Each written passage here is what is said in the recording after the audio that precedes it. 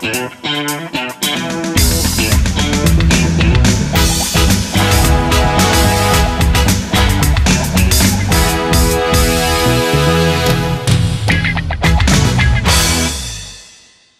эфире телеканала «Самара ГИС» при своем мнении Инга Пенер. Здравствуйте. Не последний, но решительный бой. Аккурат накануне Дня Победы в 63-м регионе разразился жилищный скандал, остроту которого придает тот факт, что крайними в нем вполне могут оказаться ветеран войны, военный пенсионер и инвалид второй группы. Все бывшие обманутые дольщики. По злой иронии судьбы они вновь могут оказаться без крыши над головой. На квадратные метры, которые они получили после томительных лет ожиданий, неожиданно заявили права совсем другие люди – те тоже себя называют дольщиками и тоже обманутыми. Такой вот парадокс. Кого гнать на улицу в конце апреля предстоит решить в Фемеде, поле битвы Октябрьский районный суд, где весь месяц, тихо, но не мирно, шел гражданский процесс, пока его участники, уже и не надеясь на победу, не решили обратиться к прессе. Вот он, дом раздора, пятая просека, 101. Некогда один из десятков проблемных объектов в Самаре, чей застройщик умыл руки раньше, чем убрал строительные краны. Доводил до ума его уже областной Минстрой на бюджетные деньги. И в 2012-м 175 дольщиков наконец получили заветные ордера. Еще несколько квартир оставались свободными, и региональное правительство, поскольку являлось их собственником, распорядилось жильем так, как посчитало нужным. Квартиры отдали тем дольщикам из областного реестра, кто в них больше всего нуждался. Теперь же незадачливые новоселы могут все потерять. В гости? Да. Товарищи по несчастью. Здравствуйте. Они могли быть просто соседями, а теперь называют друг друга дважды обманутыми дольщиками. Один раз обманули фирму содействия в лице Черенникова, а второй раз судья хочет у нас отобрать эту квартиру. Людмила Никитична признается, то, что у их квартиры объявились новые хозяева, стало для их семьи шоком. Ее супруга, ветерана войны Михаила Савилова, тогда с сердечным приступом увезли в неврологическое отделение. Гром грянул, когда казалось, что самое неприятное позади, а в ремонт были вложены душа и деньги, взятые в кредит. А сколько на десятый этаж надо было поднять?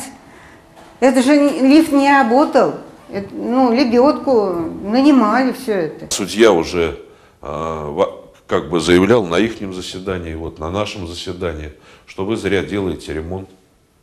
Вам это, скорее всего, придется покидать это. Попали, значит, ну, как мы подозреваем, под чистый развод. Перефразируя классика, эти люди несчастливы одинаково. Владимир Азархин, 28 лет отдавший военной службе, и его жена, инвалид второй группы, она после первого же заседания до сих пор в больнице, судится с гражданкой Сударевой, его соседи Савилова с неким Бессольцевым. Но адвокат этих господ, которых сами дольщики в глаза не видели, один. Подробности двух параллельных процессов тоже как под копирку.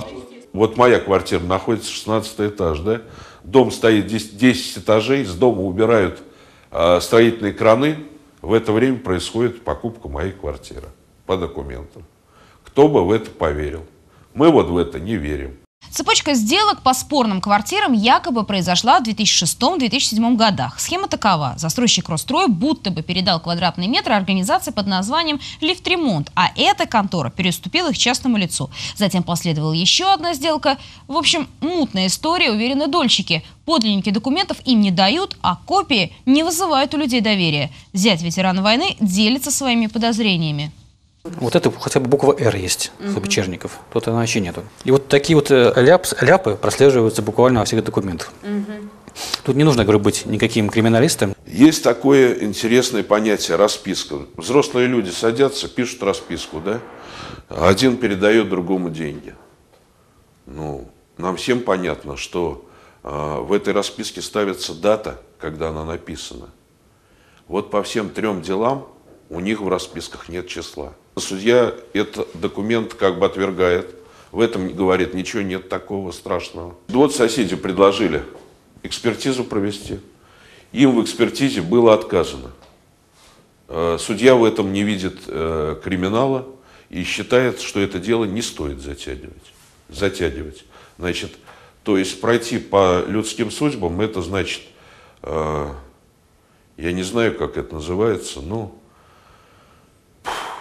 на суде этих людей ждало много откровений. Прописка в паспорте, свидетельство о собственности. Главное, само решение правительства предоставить им жилье. Все это могут признать никчемными бумагами. Вот подпись заместитель председателя правительства Самарской области Гришина.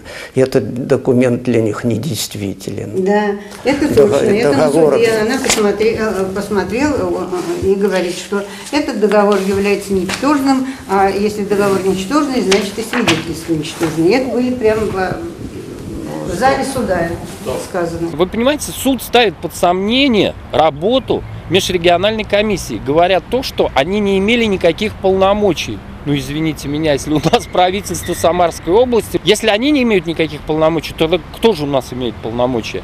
Вот.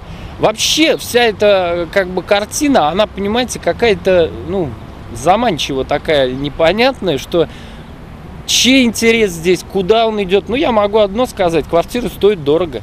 Те же, кто затеял этот процесс, неожиданно ставший резонансным, сейчас предпочитают держаться в тени. Их адвокат по телефону пообещала мне, ее доверители, если сочтут нужным, выйдут на связь. Звонка не последовало. Я не считаю возможным давать сейчас какие-то комментарии, может быть, после, состоя... после того, как суд примет какое-либо решение. Это раз, во-первых. Во-вторых, давать интервью с утра до ночи у меня времени нет. Мы считаем, что у нас э, договоры были подписаны совершенно нормально, совершенно такие же договоры, как и у них. Другой вопрос, почему там они встали или не встали в реестр. Ответ на многочисленные вопросы в этом деле ищут и в областном Минстрое, где пристально следят за процессом в Октябрьском районном суде. Заместитель министра Михаил Головушкин в эксклюзивном интервью пообещал, он лично пойдет на следующее заседание и изучит все документы. Что касается тех людей, которые исковые заявления подают, то мы допускаем, что, возможно, они также являются обманутыми дольщиками.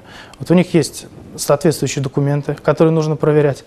Но сама сторона вопроса заключается в том, что на момент подачи, на момент вообще продажи Минстроем данных квартир или передачи вот этим обманутым дольщикам, мы не знали о существовании тех лиц, которые сейчас предъявляют требования в суде на эти квартиры.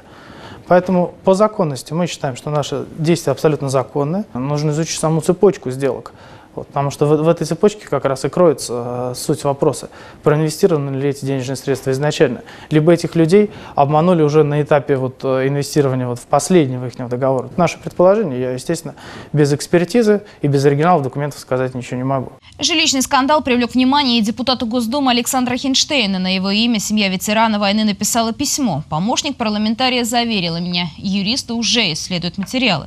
Свою оценку истории с нехорошими квартирами должны дать и правоохранительные органы. Областной ОБЭП начал проверку.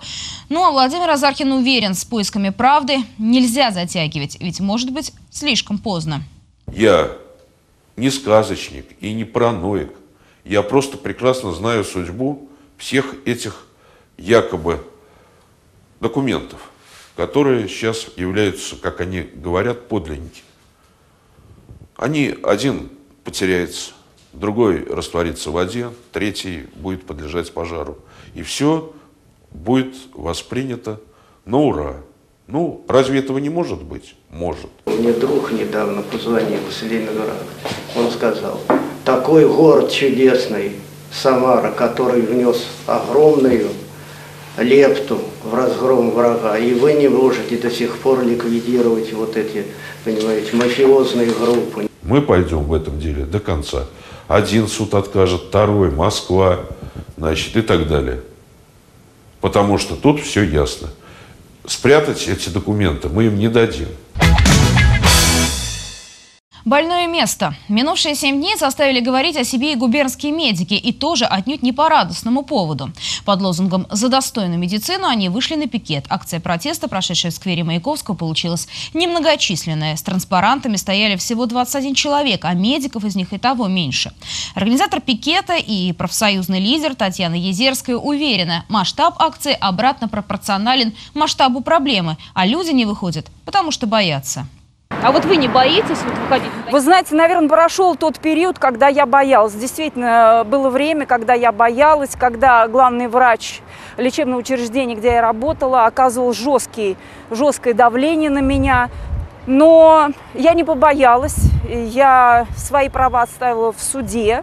Э, Часть судебных решений были в мою пользу. Сама Татьяна, 23 года проработавшая психиатром-наркологом, сейчас временно безработная, но профессию бросать не собирается и обо всех болельщиках системы здравоохранения уверена, нужно не просто говорить, а бить на бат. при таких условиях качественно оказать медицинскую помощь практически невозможно.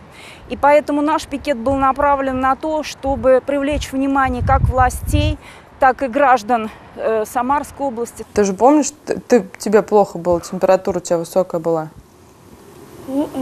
Дети быстро забывают все плохое, а вот мама пятилетнего Никиты, Юлия Баскина, до сих пор с ужасом вспоминает тот день, когда у ее ребенка стремительно поднялась температура до 40 градусов, и бороться за жизнь сына ей пришлось в одиночку. До скорой она так и не дозвонилась.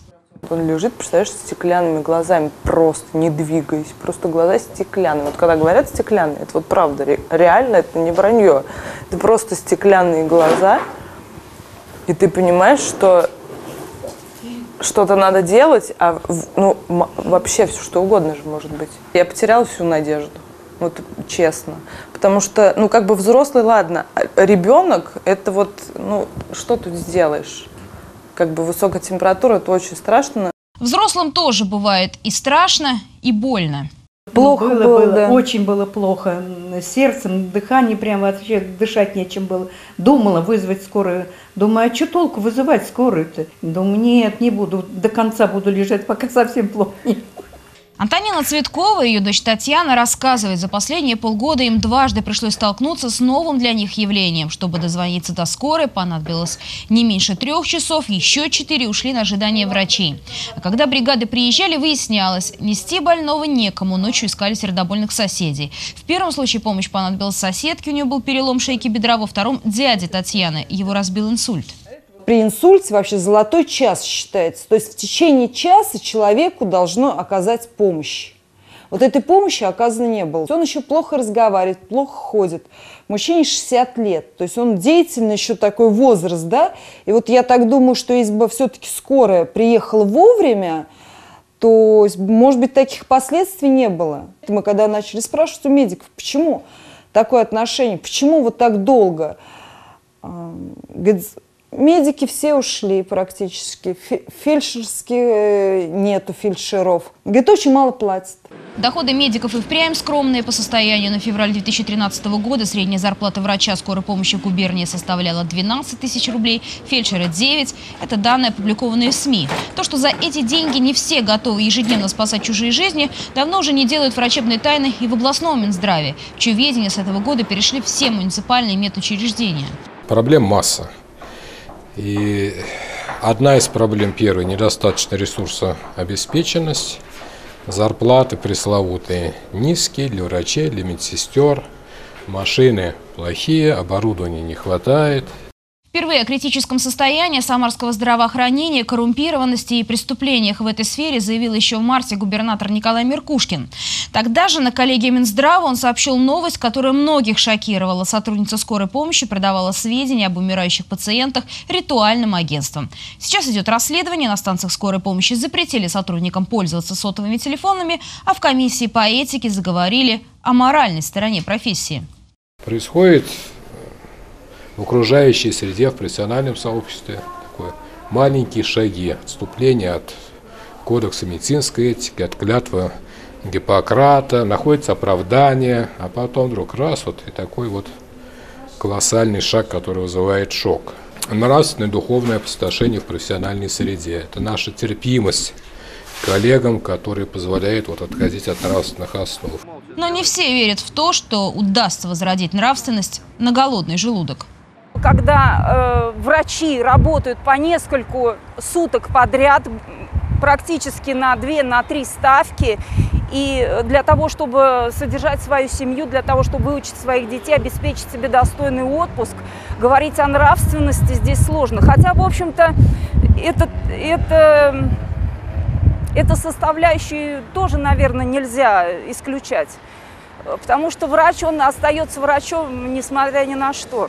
Профсоюзный лидер Татьяна Езерская делится. Апрельский пикет был первый, но далеко не последний подобной акции. Ее участники не собираются ввязываться в политические игры и вообще выступают не против, а за за достойную медицину.